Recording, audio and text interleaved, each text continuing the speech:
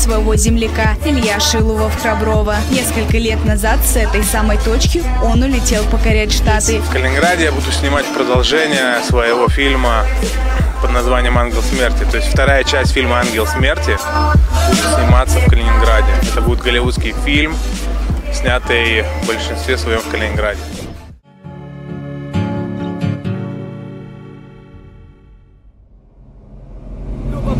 Еще, еще раз, пожалуйста, повтори.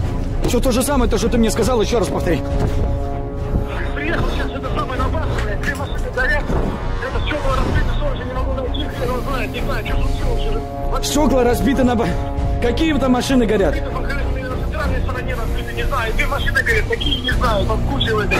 Давай, находись там, смотри, знаешь, что я тебя, знаешь, что я тебя попро- попрошу самое главное? Возьми телефон и снимай все на телефон. Мы подъедем буквально минут 15 максимум. Все, давай, будь там, пап, давай. Давай, давай, давай. И- а сторожа нету, да? Сторожа нету? Давай,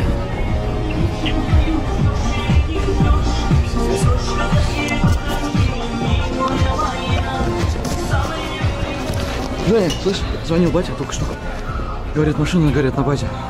Давай ты тогда. Артем, тоже собирайся. Прямо сейчас бери куртку, все по барабану. Олег тоже с нами. Антоха тоже с нами. Но без вариантов, без никаких, смотри. Смотри, единственный такой момент, ты где будешь ночевать? Потому что, ну, Я ездил ночевать. Давай, как только планиру- планировали же, что, что ты у меня останешься, правильно? Короче, как закончите, тоже здесь позвоните. Ну, ты в Калининград поедешь во сколько по этим делам решать? Ты сначала решишь дела, потом тогда отзвонись, и мы решим тогда, где ты ночуешь. Все, давайте, не прощаемся. Коля, про этот, с ним, естественно, проблем. Да, да, давай, бери. Ёпта. Погнали, все. У меня.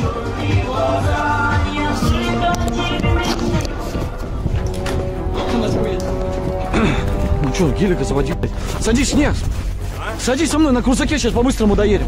Если что, да пускай будет на подстраховке. У них пускай будет. Ёпта, удивись, у них хера себе, блядь. Что батя что говорит?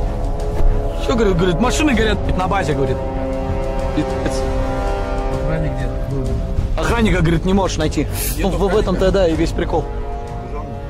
Либо убежал, Это либо это он сделал, либо что-то с ним случилось.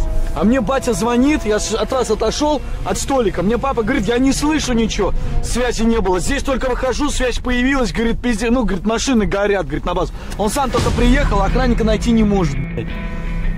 Сука, знаешь, что я думаю, блядь, из-за чего это? Знаешь, что я думаю?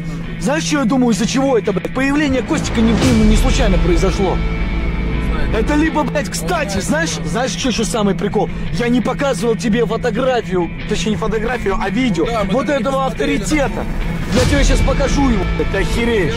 Потому что я, да, потому что я вспомнил, ну, и мы, скажем, подтверждения не были основаны на 100%. То есть я, ну, еще не хотел с тобой, скажем, делиться информацией. Думал, что сейчас танка встречу, ну и с тобой на эту тему начну разговаривать.